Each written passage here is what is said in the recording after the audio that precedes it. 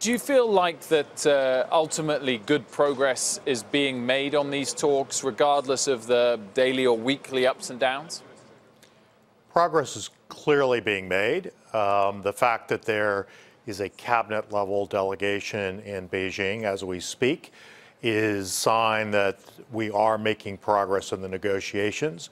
I think the uncertainty revolves around what the U.S. needs to get a final deal and whether China will be able to give that deal, whether in the short term, i.e., before March 1st, when you have tariff taxes kick up, or if China is willing to do those things in the long term. But I'm encouraged by the fact that cabinet level officials are meeting. That's a precondition for any subsequent meeting by the leaders to try to resolve these issues.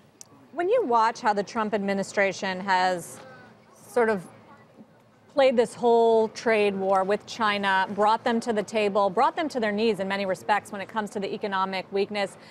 Do you wish that during your administration, your time, you had done it differently? Because a lot of the issues were the same the intellectual property theft and the, and the joint ventures and opening up China's markets. And, and the fact that those are on the table right now in these negotiations, does it make you question how, how we've been dealing with the Chinese? Well, I think for many years we've been trying to figure out how to deal with an emerging Chinese economy. We were negotiating a bilateral investment treaty with China to try to open up some of the same markets.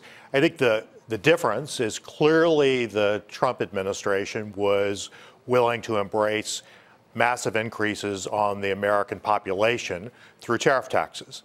That's something that we were not willing to do. Um, clearly, while it may be having some impact on China, it's also having a negative impact on the U.S. economy.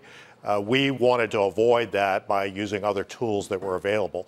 But the fact is, there are many long term systemic problems in China in terms of how closed their market is.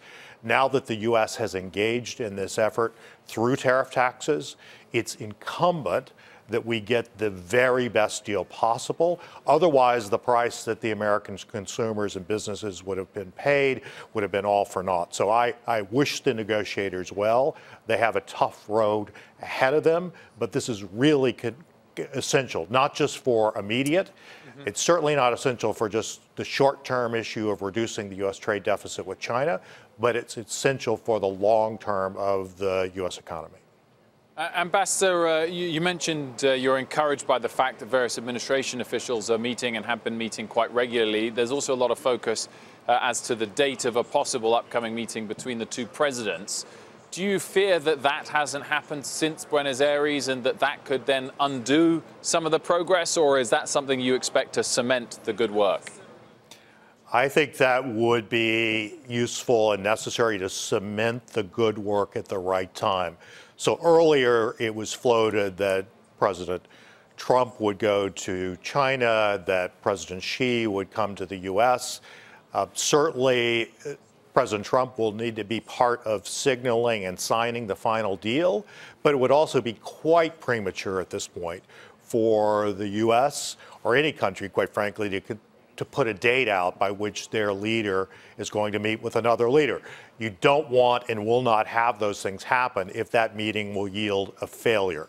And so we are still even with several weeks ahead, we're still a long way from getting the kind of deal that the U.S. would think is necessary before they would commit the President of the United States to meeting with President Xi Jinping. So the dynamics of this are playing out as I would expect they would, and you'd keep some of that kind of close to your vest about a possible meeting until you knew you were in a zone where you could actually reach a deal.